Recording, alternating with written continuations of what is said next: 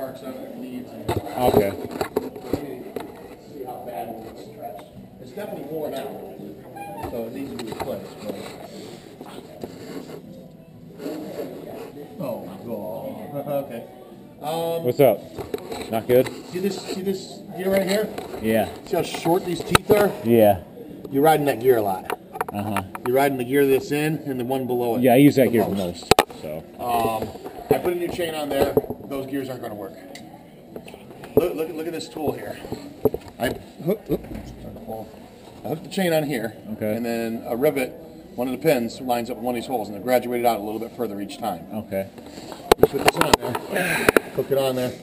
So that that rivet right there will line up with whatever hole it's in. Okay. It's beyond the replace hole. Shit.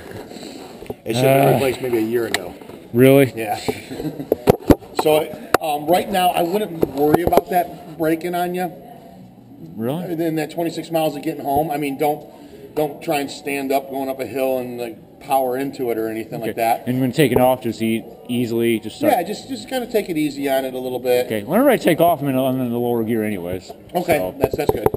So you should you should be fine. I wouldn't, you know, it could snap on the way home, but it, it, a new chain could do that. yeah. Um, so just you know, just take it easy on it. I'd make it home. Now, when you said putting a new chain on, I won't be able to use the one gear. How's how? Why's that?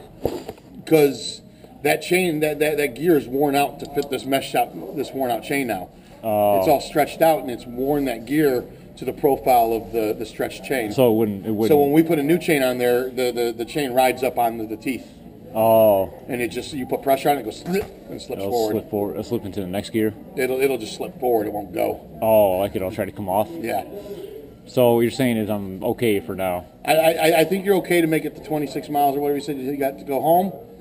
I would take it easy, but you're gonna need to replace this. The cut the You're gonna need to replace the, the chain. chain in this. and and this. we might even end up getting into you ride that middle ring a lot. Yeah. It doesn't look horrible.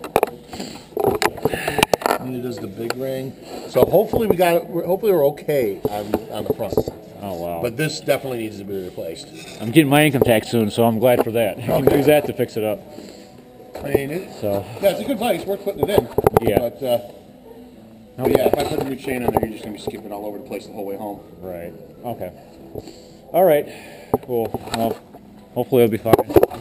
But yeah, I would, I would replace it as, as soon as you can, just because um, we're trying to avoid having to replace that as well. I might actually do it Monday if I